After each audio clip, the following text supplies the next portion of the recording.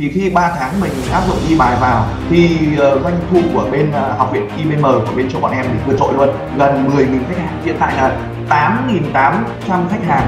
Trong một ba tháng tìm đến với doanh nghiệp của bọn em. Tỷ lệ chốt sale tỷ lệ chuyển đổi của anh em đã đạt ngay trong trong buổi đó đã đạt được 40 phần trăm so với lượng người tham dự. Đó là một cái tỷ lệ chuyển đổi cũng tương đối là cao. Và thứ hai nữa thì bên em cũng có uh, thu được cái cái lượng cộng tác viên cùng với cái phễu data khách hàng 800 cái data khách hàng sau vài ngày bên em sử dụng cái cái ờ, cái quỹ bài à, và cái um, lượng học tác viên. Ừ, theo những cái kỳ vọng bên em thì hiện tại bây giờ đang tăng lên rất là nhanh và chính bởi vì khi mà trong cái quá trình mà mình là cái người mà trực tiếp đã từng đi làm tiếp thị liên kết rồi thì mình nhìn thấy là các doanh nghiệp đó là cái mô hình mà tất cả các doanh nghiệp đều cần. Hay là đặc biệt là những chuyên gia hay là những diễn giả họ đều cần cái mô hình đó. Mình đã ứng dụng nó cho chính bản thân mình cũng như những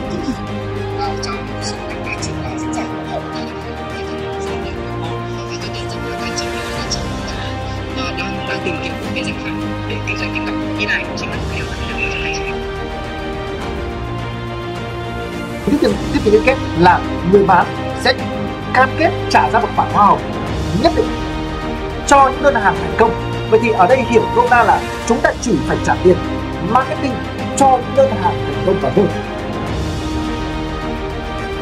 à, anh chị đang quản lý một cái doanh nghiệp đúng không ạ? Không cần phải giỏi về công nghệ Hưng nhấn mạnh cái này chỉ cần là à, vài cái click thôi thì anh chị tạo được một cái form và lấy được thông tin của khách hàng. Khi mình đưa ra cơ chế hoa hồng và uh, cơ chế mình chuyển hoa hồng cho từng cộng tác viên không ai có một phản hồi nào. Vì nó quá chính xác. Thì đấy là cái em ghi nhận cái điểm mạnh của của eBay. À, với hệ thống RMS thì mình phải trả đâu đấy là hơn 50 triệu trong một năm. Và bây giờ thì cái uh, mức phí của eBay đã gọi là tuyệt vời hơn rất là nhiều. Nhưng mà điều tuyệt vời nữa là đó là có được đội ngũ phải đào tạo và tư vấn vô cùng tuyệt vời